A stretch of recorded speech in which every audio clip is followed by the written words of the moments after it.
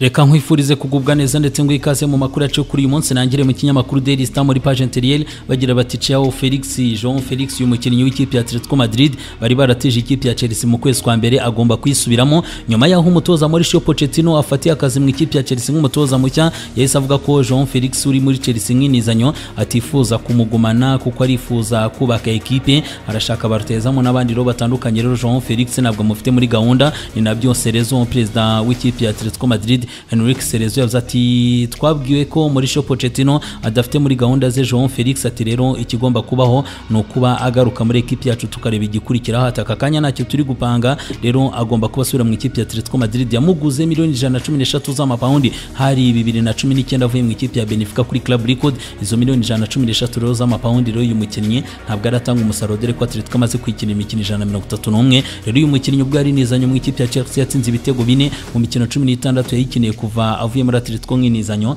agomba kuba ayisubiramo. Ikinyamakuru Daily Express kivuga kiti Jean Felix ararekuwe cyangwa se baramurekuye muri Show Pochettino yatangaje ko adafite muri gahunda ze rwose. Jean Felix yabigize clear mvuye mu kinyamakuru Daily Express. Ikinyamakuru Daily Mirror kigira kiti Pochettino yabwiye Chelsea ko atifuza Jean Felix muri ekipe ye agomba gusubira mu ikipe ya Atletico de Madrid. Ikinyamakuru Metro cyo kigira kiti uwitwa Mauricio Pochettino Jean Felix abanjirije abandi bagomba gusohoka mu ikipe ya Chelsea ngo abakinnyi bagera kuri cumi na babiri bagomba bose kuva mu ikipe ya Chelsea ku ngoma Mauricio Pochettino yatangiye gukozamo umweyo. Aho abakinnyi cumi na babiri rero barangajwe imbere n'abarimo ba Pierre Emerick Aubameyang. Uyu ni umwe mu bakinnyi bagomba gusohoka mu ikipe ya Chelsea byihuse. Undi rero gusa kuri Aubameyang ntarabivaho ashobora gusubira mu ikipe ya Barcelona ekipe iramwifuza gusa nima ekipe yo muri Arabia Saudite. Nayo irifuza cyane Pierre Emerick Aubameyang nk'uko Metro igenda ibitubwira. Undi mukinnyi rero yitwa Kono Garaga John uyu mukinnyi nawe ashobora kuba yagurishwa. Ruben Loftus-Cheek unifuzwa n'ikipe ya Mirase Callum Hudson Odoi nizanye muri Leverkusen agomba kugurishwa burundu. Mason Mount unashakishwa n'amakipe nka Manchester United Arsenal na Chelsea ishaka kumugumana ndetse na Liverpool yewe irifuza kuba yamugura. Gusa na Chelsea ntiyifuza kuba yamurekura ariko Mason Mount nibinanirana bazamureka agende. Muri abo bakinnyi rero bagera kuri cumi na babiri undi ni Mateo Kovacic. Uyu mukinnyi rero nawe agomba gusohoka mu ikipe ya Chelsea Edward Mendy. Uyu munyezamu agomba gusohoka. Kai Havertz Marco Correa agomba kugenda Hakimu Ziyech nawe aratekerezwa. Undi ni N'Golo Kante warangije amasezerano. Gusa we baracyamuganiza kugira ngo yongere amasezerano ubwo ekipe yo muri Arabia Saudite ishaka kumuha agafaranga hagati mu kibuga rero ikipe ya Chelsea yatangiye ibiganiro n'uwitwa Manuel Ugarte w'ikipe ya Sporting. Birashaka kumuzana hagati mu kibuga undi uri tayari gusohoka cyangwa se Chelsea iri tayari kurekura n'uwitwa Christian Pulisic Captain America rero ngo ashobora kuba yarekurwa kuri miliyoni makumyabiri z'amapaundi kuwaza amushaka. Yaguzwe bibiri na cumi n'icyenda miliyoni mirongo itanu n'umunani z'amapaundi avuye mu ikipe ya Borussia Dortmund. Ariko imvune zakomeje kumwibasira agomba kuba asohoka rero. Gusa ikipe ya Chelsea yamaze gushyiraho Chris Jurasek uyu ni new CEO mu ikipe ya Chelsea mu gihe rero uwitwa Tom Glick uyu nawe rwose agomba cyangwa se nyuma yo kurekura ekipe ya Chelsea nka CEO rero agomba kwita uyu mugabo Chris Jurasek agumana izi nshingano nk'uko Metro igenda ibitubwira. Ndetse n'ikinyamakuru Terimeri kivuga kiti abagera kuri cumi na batanu hafi basaga Pochettino araza kubarekura mu ikipe ya Chelsea bavuga ko bahereye kuwitwa Jean Felix mvuye mu kinyamakuru Daily Mail reka mu kinyamakuru Daily Mail batubwira muri page kuri Mason Greenwood uyu mukinnyi w'ikipe ya Manchester United. Rero ngo umwanzuro uraza gufatwa vuba niba arekurwa cyangwa se niba kuma muri Manchester United kabisa agakomeza kuba the red. Manchester United ngo iraza kubaza groupe y'abafana uko babyumva nuko babitekereza ku mwanzuro wafatwa. Ekipe ya Manchester United y'abagore igomba kubazwa ndetse n'abakorana ubucuruzi na Manchester United ni abaterankunga ngo bagomba bose kugira ijambo bagira ku hazaza huitwa Mason Greenwood nk'uko ikinyamakuru Daily Mirror kigenda kibigarukaho kuri inkuru ya Mason Greenwood. Ari na byo rero n'ibindi binyamakuru ikinyamakuru nka Daily Express kigenda kigaruka kuri iyo nkuru ko Manchester United igomba gukora consultation cyangwa se ubugororangingo ndetse n'ubusesenguzi ariko bifashishije abafite ijambo muri Manchester United kuri izo mpande zose kugira ngo bamenye ahazaza nk'uko Daily Express igenda ibigarukaho na byo n'ikinyamakuru Daily Star kivuga kiti araza kuba uganirwaho kuri Manchester United n'impande twagiye tugarukaho. Nk'uko Daily Star igenda igaruka kuri iyi nkuru yitwa Mason Greenwood. Rero ikinyamakuru Daily Star kinatujyana kwitwa Edu ndetse ndetse n'ikipe ya Arsenal ngo iyi kipe igomba kwiyubaka mu buryo bwose bushoboka ngo bagomba kongeramo abandi bakinnyi barakomeza gufayitinga n'umwaka utaha rwose kuri Premier League ngo Arsenal izakomeza kurwanira igikombe cya shampiyona buri mwaka. Barifuza ko iyi kipe rero nyuma y'imyaka igera muri itandatu idakina Champions League bongeye gusubizwa na Mikel Arteta rero aho yabahaye umwanya wa kabiri. Ekipe ngo bagomba kuyubaka ekipe igomba kuza ikomeye. Baratekereza ko bagomba gukora akazi keza karenza ko bakoze kugira ngo ikipe ikomeze itere imbere ndetse no muri Champions League. Izabashe kuba ihatana. Nk'uko ikinyamakuru Daily Star kigaruka kuri iyo nkuru ya Edo ndetse n'ikipe ya Arsenal ari na byo n'ikinyamakuru Daily Mirror bavuga bati tuzakomeza kurwanira igikombe buri mwaka ngo ntabwo bihagararira kuri iyi saison barwanye n'igikombe cya shampiyona nubwo cyagiye ariko ngo bazakomeza buri mwaka kubaka ekipe izajya zigahatanira igikombe cya shampiyona. Nk'uko ikinyamakuru Daily Mirror na cyo kigenda kibigarukaho Daily Mirror navuga ati se Oxlade Chamberlain nyuma yo kurangiza amasezerano muri Liverpool ni he handi ari bwerekeza ikinyamakuru Daily Mirror kiragenda kibyibaza. Ikinyamakuru AS Sport cyo kiratujyana kuri finali ya Europa League ati Mourinho ahazaza he hasigaye kuri finali ya Champions League aza kuba akina ku mugoroba? Ni Roma ye iza kuba ikina n'ikipe ya Sevilla yo mu gihugu cya Espagne. Ni finali ya Europa League ikinyamakuru AS Sport kigiye gitangira kugarukaho. Ari na yo tugiye kwita twerekezaho. Binyerekeza rero mu kinyamakuru AC bati i Budapest araza kuba ari ibirori ikipe ya Sevilla irashaka igikombe cya karindwi cya Europa League. Baraza guhangana na Mourinho rero wifuza gukora amateka. Ikinyamakuru AC kivuga kiti ukora ikosa ari we wese aratakaza aya mahirwe yo gutwara igikombe. Mourinho avuga ati ni byo ntabwo duhabwa amahirwe. Ati ntituri kuri levo yabo muri iki gikombe kuko bafite ibikombe byinshi. Ati ariko ntituri bato baza kuba bapfukamira ikipe ya Sevilla ngo nabo barifuza iki gikombe. Ikinyamakuru Marca na cyo kitujyana kuri iyo match ya Europa League. Bavuga bati rero nta muntu n'umwe ugikunda iki gikombe nkatwe. Ni amagambo y'abafana b'ikipe ya Sevilla rero bahagurukanye muri Espagne Sevilla berekeza hariya Hongria Budapest kuri Puskas Arena. Bafite izi bandana cyangwa se bafite n'amafurari avuga ngo nta muntu ukunda iki gikombe nkatwe. Kubera ko ikipe ya Sevilla yaragitwaye mu mwaka wa bibiri gatandatu bibiri karindwi iragitwara bibiri na cumi na kane bibiri na cumi na gatanu na bibiri na cumi na gatandatu ndetse na bibiri na makumyabiri. Rero niyo mpamvu ngo bavuga bati nta muntu ukunda iki gikombe nkatwe kuko bamaze kugitwara inshuro nyinshi ikipe ya Sevilla. Ikinyamakuru Marika ndetse na AC mbere yuko mva muri ibi binyamakuru reka ngaruke cyane muri AC ku mutwe. Ikinyamakuru AC bavuga ati Benzema ashobora kuba yagenda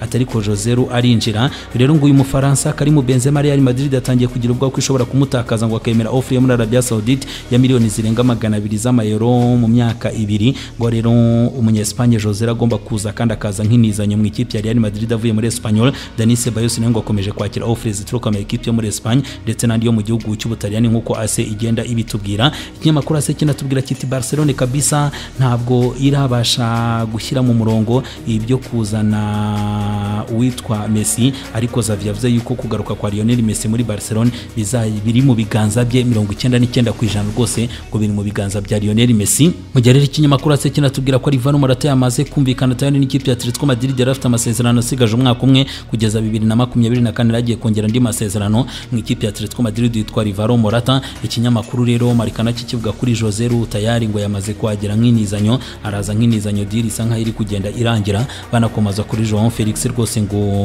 uyu munya Portugal Pochettino yamaze kuba mwanka ngo agarutse mu ikipe ya Atletico Madrid nk'uko ikinyamakuru Marca kigenda kibigarukaho. Nerekeje mu kinyamakuru iri romanista bati birashoboka hamwe n'urukundo baratubwira kuri ikipe ya Roma yahagurutse niyo nka ibihumbi makumyabiri by'abafana b'ikipe ya Roma bahagurutse i Roma baje muri Hongiriya hariya kuri Puskas Arena Budapest baraza kuba bahabaye bashyigikira ikipe yabo ngo barashaka kwitwara neza cyane rero aho bavuga ati abafana baraza gutanga balance kabisa mu mifane ndetse no mutuzo kuri ikipe iza kuba ishyigikiwe cyane kugira ngo barebe ko batwara iki gikombe. Aba bagabo b'i Roma bafite icyizere muri nyo gusa ngo na Dybala ni mwiza cyangwa se ahagaze neza ugereranyije n'akavune yari afite ngo gusa ashobora gutangirira kuri benshi. Stefan El Sharawi akaba yaba ari mu mwanya we afatanya n'uwitwa Tami Abraham. Gusa rero ngo comeback rero na ya Spinazzola na yo biraza kuba ifasha cyane. Uyu mukinnyi nawe arahari tayari araza kuba akinishwa ku ruhande rw'ibumoso. Bavuga ati rero ni igihe cyo kwandika amateka tugakabya inzozi. Ati kamoni Roma mu bigereho nk'uko iri romaniste ikunda gusoza ibibutsa. Ikinyamakuru Corriere dello Sport na cyo kitubwira cyane ku ikipe ya Roma ndetse na Sevilla ati Europa League finali kabisa Budapest igihe cyageze biraza kuba ari saa tatu z'ijoro. Mourinho rero ngo arifuza ko bakora amateka Dybala araza kuba hari Jose Mourinho avuga ati nandi mahirwe yo kuba twaterura igikombe nyuma yo gutwara igikombe cya Conference League. Aho bamubajije abanyamakuru ku hazaza he yatangaza ko ubuyobozi bwa ekipa ndetse n'abakapiteni be ngo baza hazaza. Jose Mourinho yarahababwiye aho Jose Mourinho niwe mutoza wenyine watoje ikipe yo mu Butaliyani akabaha igikombe cyo ku mugabane w'Iburayi biheruka bibiri na cumi. Rero umwaka ushize niwe wabikoze yongera gutwara igikombe cyo ku mugabane w'Uburayi nka ekipe yo mu Butaliyani rero byaherukaga bibiri na cumi kuri Champions League yatwaye n'ikipe ya Inter de Milan murabyibuka. Gusa rero Paulo Dybala nawe ngo ari mu bihe byiza nk'uko n'uwitwa Jose Mourinho yagiye abigarukaho avuga ati rero Mourinho tuzanire n'iki gikombe? Ikinyamakuru Gazeta ndo Sport na cyo kivuga kiti Roma rero irashaka guterura igikombe nanone nyuma yo gutwara Conference League ati barareba gukora andi mateka. Dybala ngo araza kuba atangirira kuri bench nk'uko Gazeta ndo Sport igenda itubwira kuri iyi match. Mu gihe ikinyamakuru Tutton Sport na cyo cyagarukaga cyane kuri iyi match rero y'ikipe ya Roma ndetse n'ikipe ya Sevilla. Ati rero Budapest saa tatu z'ijoro nimucikwe ngo biraza kuba ari umuriro. Bavuga bati rero Mourinho arifuza gutwara ikindi gikombe cya kabiri yikurikiranya cyo ku mugabane w'i Burayi ndetse ya Mourinho yanavuze ko nta biganiro ari kugirana n'indi kipe iyo ari yo yose. Rero yabihakanye mu kiganiro n'itangazamakuru gitegura uyu mukino. Nerekeje mu kinyamakuru Gazeta ndo Sport nasubiye inyuma baratubwira ku ikipe Juventus de Turin amakuru avugwa mu gihugu cy'Ubutaliyani iyi ekipe mu bigendanye n'amasaleri murabizi ko hari ikirego kindi yaregwaga rero bisa nkaho ibihano bikakaye ntabwo byongeye kugaruka byo gukurwaho amanota n'ibindi ahubwo yaciwe amande y'ibihumbi magana arindwi na cumi n'umunani by'amayero rero anyeri waraza kugezwa imbere y'ubutabera vuba aha muri uku kwezi kwa gatandatu tugiye gutangira gihe ngo sefere we ntakozwa uburyo Juventus de Turin yakurwaho amanota gusa ngo ndetse sefere na UEFA we batekereza yuko ikipe yagahanwe uyu mwaka utantizitabira amarushanwa yo ku mugabane w'i Burayi niyo mpamvu bavuga ati kuri Juve UEFA ntabwo bihagije ibihano yahawe. Ngo irashaka UEFA na yo kubaha ibindi bihano. Mu gihe unahita nerekeza tayari kabisa no ku bigendanye n'uwitwa Romelu Lukaku Menama Boringo uri mu kinyamakuru Gazeta ndo Sport bavuga ati Lukaku kabisa akomeje guteguza Manchester City ati bizaba ari ibicika kuri finali Istanbul. Atari kumwe noneho n'umurapata araje abacurangira umuziki mwinshi. Babikomoje rero ku mafoto yagaragaye Romelu Lukaku ari kumwe uh, n'umuraperi umuhanzi Megan Thee Stallion bari kumwe mu bukwe rero bwa Lautaro Martinez bagaragara kabisa ameze neza mu isuti nziza cyane veste kabisa y'umukara uwitwa Romelu Lukaku ari kumwe n'uyu mutoto yari yambaye ikanzu nziza cyane y'umuhondo nk'ibara ry'umuhondo ati rero bari mu rukundo rukabije cyane ati rero ni ikibatsi cy'urukundo rugomba no gushashagirana rugatambukira cyangwa se rukarasira hari Istanbul ngo Manchester City bakayikubita ibishashi by'urukundo rukakarimo ariko sha ibi bintu ni ibiki koko ku binyamakuru bizakora ibara kabisa? Njya ku ikipe Juventus de Turin mu kinyamakuru uh, Corriere dello Sport no bavuga bati uwitwa Anyeri araza kugezwa imbere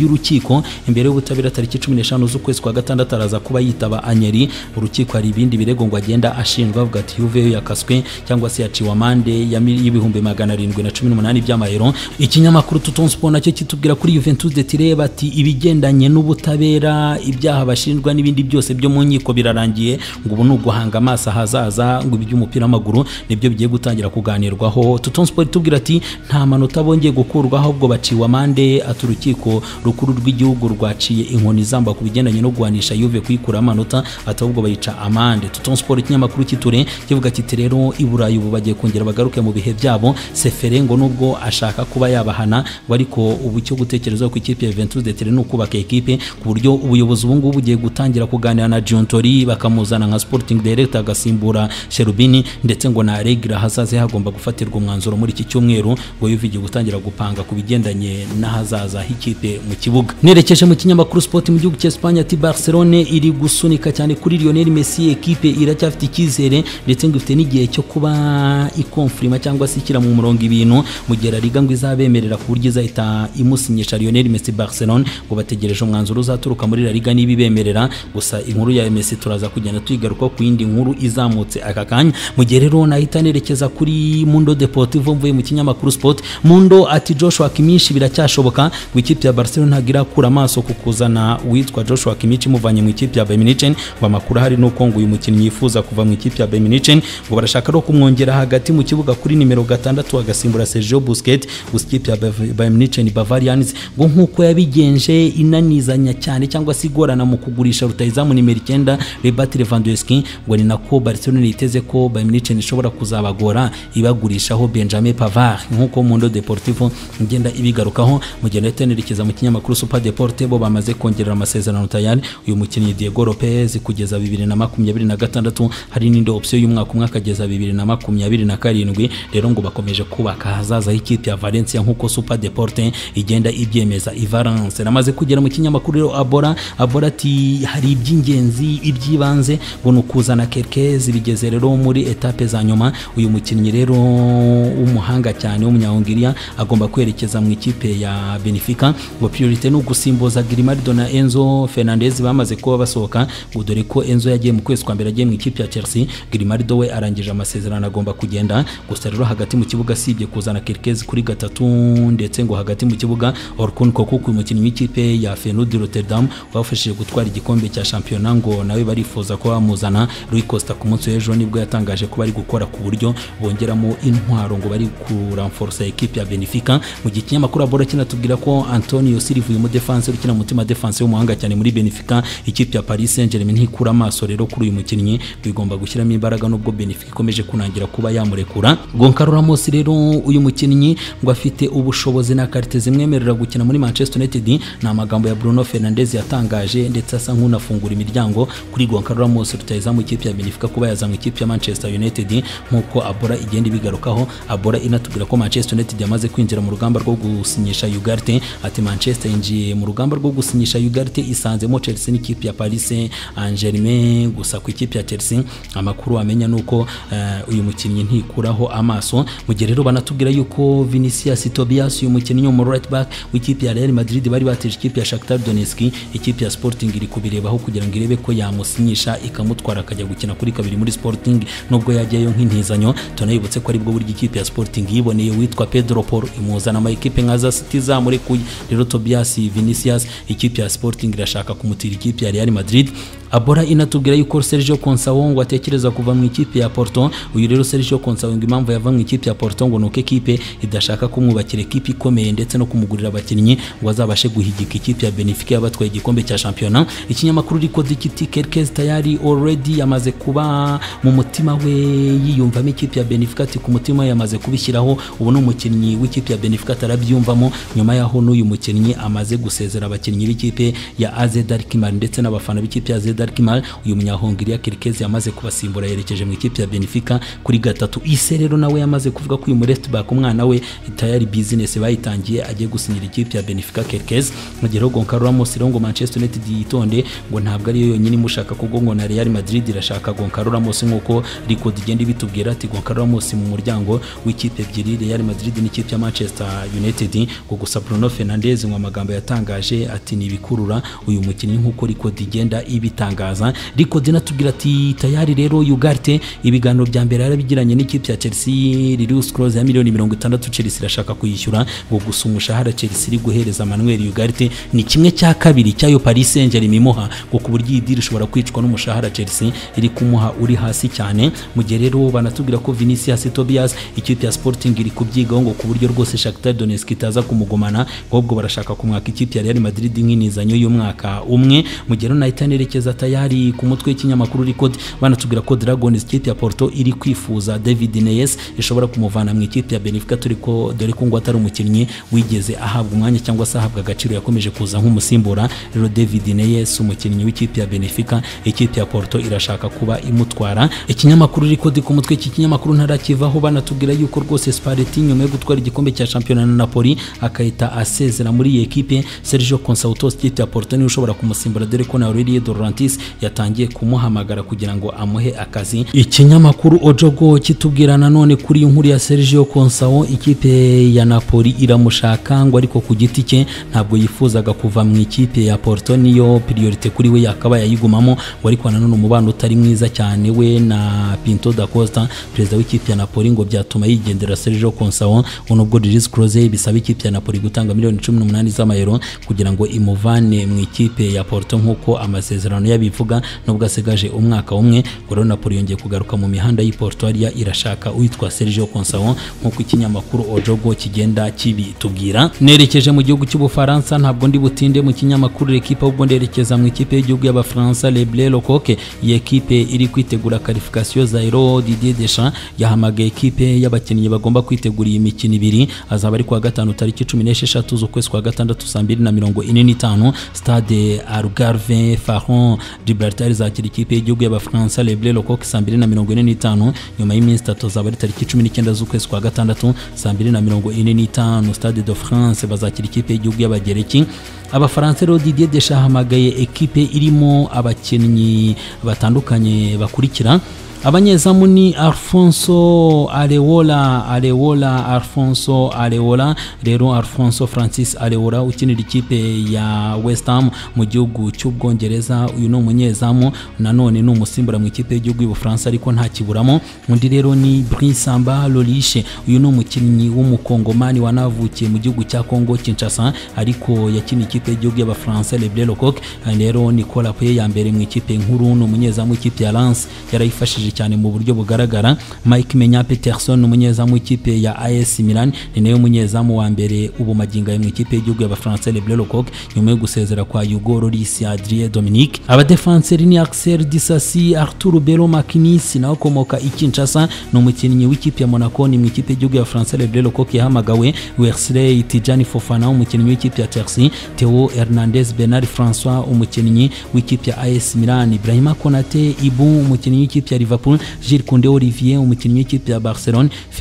na Mendy umukinnyi w'ikipe ya Real Madrid Benjamin Pavard Jacques Marcel umukinnyi w'ikipe ya Bayern Munich Nadet Changire Upamecano Sward w'ikipe ya Bayern Munich hagati mu kibuga ni Eduardo Selimi Kamavinga umukinnyi w'ikipe ya Real Madrid Youssouf Fofana w'ikipe ya Monaco Antoine Griezmann Glizon w'ikipe ya Atletico Madrid Adrien Rabiot Maria Thibon umuhungu wa Veronica kabisa akaba n'umu agent umuhagarariye uwo ni mama we kabisa ni umukinnyi w'ikipe ya Juventus de Turin hakaza Aurelien Chouameni Njani umusore w'ikipe ya Real de Madrid abataka ni Kingsley Junior Coman umukinnyi w'ikipe ya Bayern Munich Ousmane Dembele Massoul umukinnyi w'ikipe ya Barcelone hakaza Olivier Giroud Jonathan umukinnyi w'ikipe ya AS Milan Randari Colomwani w'ikipe ya Eintracht Frankfurt Kylian Mbappe Rote w'ikipe ya Paris Saint-Germain hakaza umukinnyi kizigenza kabisa w'ikipe ya Chelsea bamaze kuba bibikaho akaba ari umukinnyi witwaye neza cyane mu ikipe uh, ya RB Leipzig Christopher Aran Nkunku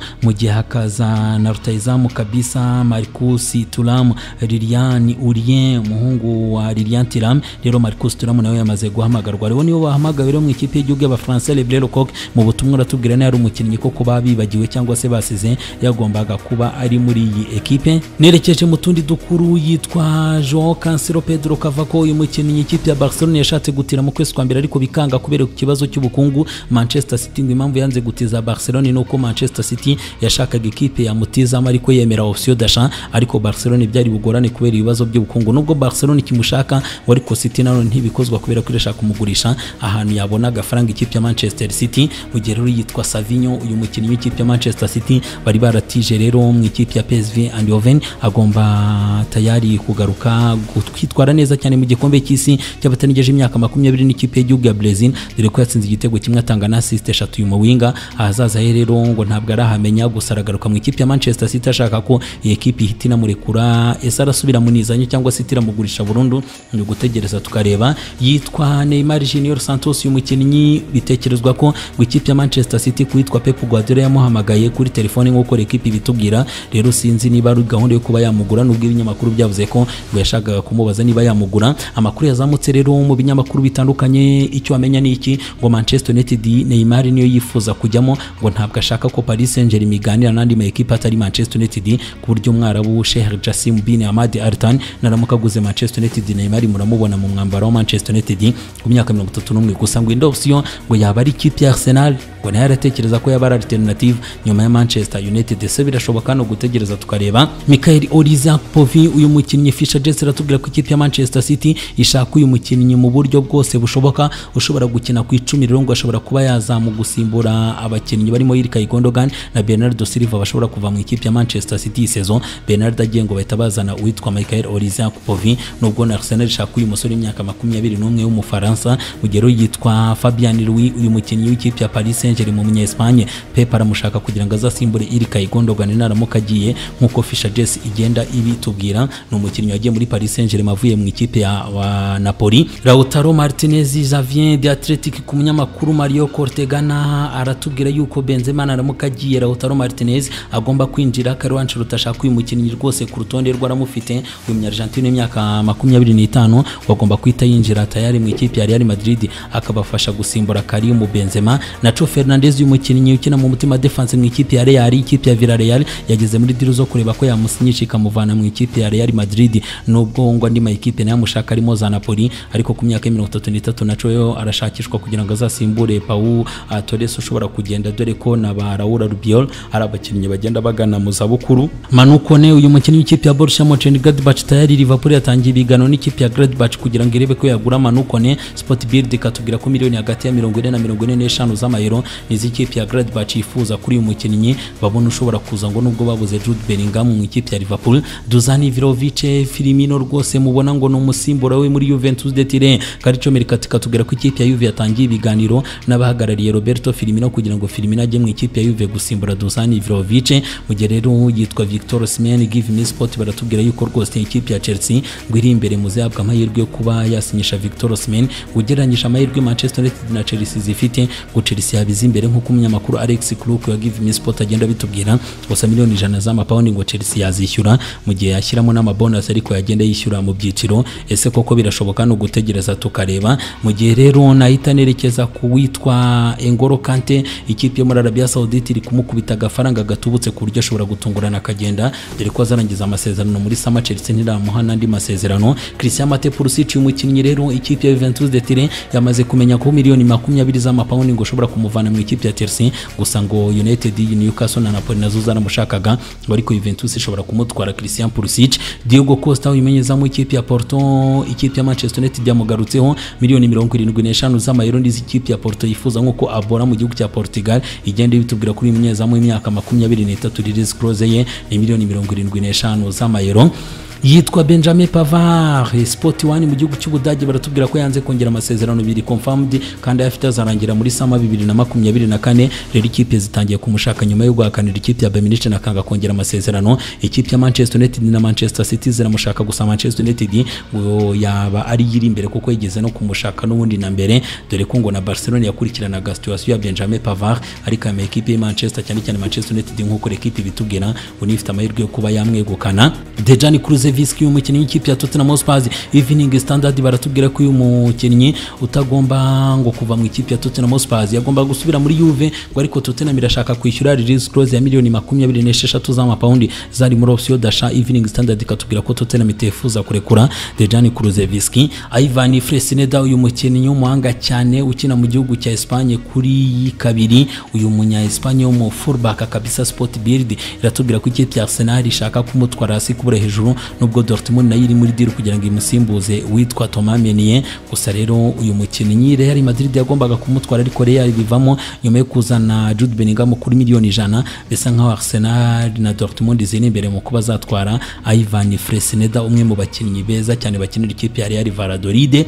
Mu gihe Wilfried Nyoto Denya uyu mukinnyi w'umutaliyani w'ikipe ya Leeds United yamanutse Calcio Mercato baratubwira ko Arsenal na Manchester City ziri gukurikirana neza uyu muwinga w'umuhanga mugufi cyane mu gihe William Saliba byatunguranye ikipe ya Arsenal yaguye kawo ngo nyuma y'uko William Saliba ari kwaka amafaranga menshi cyane kugira ngo yongere amasezerano yarasanzwe ahembwa ibihumbi mirongo ine by'amapawundi ku cyumweru. Uyu mufaransa arashaka hafi y'ibihumbi ijana na mirongo itanu byegereye hafi aho rwose by'amapawundi ku cyumweru Arsenal ntikozwa kuyamuha bishobora kuhita iba oblige yo kumugurisha mu ikipe ya Paris Saint-Germain ngo na yo iri guca inyuma ikamuganiriza akaba ariyo mpamvu ari kwaka n'amafaranga menshi cyane ikipe ya Arsenal. Lionel Messi nigeze kubasezeranya ko mbabwira ibye. Lionel Messi amakuru azamuka nuko ikipe ya Barcelona yamaze gusaba ikipe ya Inter Miami ya David Beckham ko Inter Miami yamugura kubera ko Barcelona ifite ibibazo bya mikoro. Inter Miami ikamugura ikamutiza Barcelona agakina Barcelona kugeza bibiri na makumyabiri na kane kugeza Copa America itangiye. Kandi ni cyo yifuza Lionel Messi rero Blaugrana ngo ni option ifite iri gupangana Inter Miami ya David Beckham nk'uko ekipe igenda ibitubwira ese birakunda ni ugutegereza tukareba. Mukomeze mugubwe neza cyane.